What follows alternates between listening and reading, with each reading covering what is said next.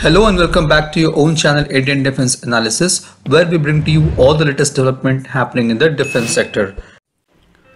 In last two videos, we have discussed about two major deals for the fighter jets. The first one being 57 fighters for Indian Air Force and second one is 26 deck-based fighter for Indian Navy. From what it seems, India is now looking to further sweeten this deal with engine development program for which it's in discussion with French engine manufacturer Safran and UK's engine giant Rolls-Royce.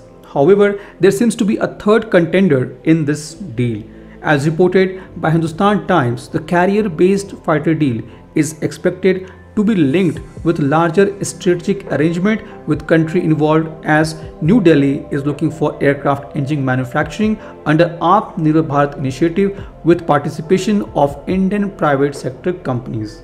While French Safran is keen to manufacture 100 kilonewton engines with Indian entities without any precondition, Defense Ministry is also exploring the same with US as GE 404 engine is used in indigenous Tejas fighter and GE 414 being considered for twin engine advanced multi-role combat AMCA project of the DRDO.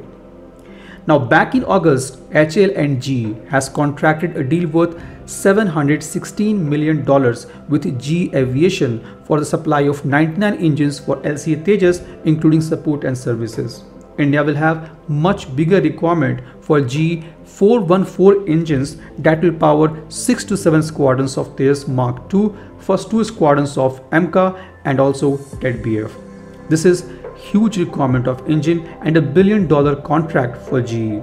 At the same time, it will ease the maintenance overhaul of the engines with local manufacturer similar to what HAL is doing for AL31FP engines powering Su-30 MKIs. Earlier, GE has refused the transfer of technology for the engine because of which India has been discussing in parallel with France and UK for engine development. France and UK both have committed on more collaboration on defense technology including engine development to support Make in India move. Back in December 2021, the Defense Minister Sri Rajnath Singh had informed that France has agreed to make an engine in India under a strategic partnership model. He further added that such an engine is currently not even being made in France. The engine will have next generation FADEC and low IR signature. Safran and GTRE will be working on developing a new core derived from the existing M88 core with modifications to achieve higher thrust requirement of more than 110 kilonewtons.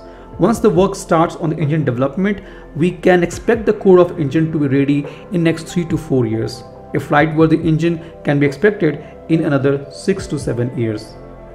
Last year, it was also reported that British firm Rolls-Royce has said it is keen to work with India to co-develop and manufacture engines for country's fifth generation fighter aircraft program called AMCA. The president of Rolls-Royce India and South Asia also said the country will own the intellectual property rights for the engines if there is a partnership. He also added, our keenness is on co-creation concept because at the end of the day, when we co-create, we are generating IP and the IP is generated locally. When a product is designed in India, manufactured in India, you create your supply chain and you create services concept. It creates a whole new ecosystem in Indian aerospace sector. The company currently powers Indian Air Force Jaguar deep penetration aircraft Hawk trainers and C-130J Super Hercules. Rolls-Royce also wants to bring in hybrid engine for marine systems to power Navy's next generation of vessels. At present, Indian Navy heavily relies on Ukrainian engine for its warship. This was today's update. Please let us know what is your views about these in comment section. Feel free to post your comments and suggestions about any topic related to defense sector on which you want to hear from us. With this, I would like to say goodbye and Jai Hind friends. Please like and subscribe our video if you have not done already. We'll be soon back with more interesting and amazing development happening in defense sector.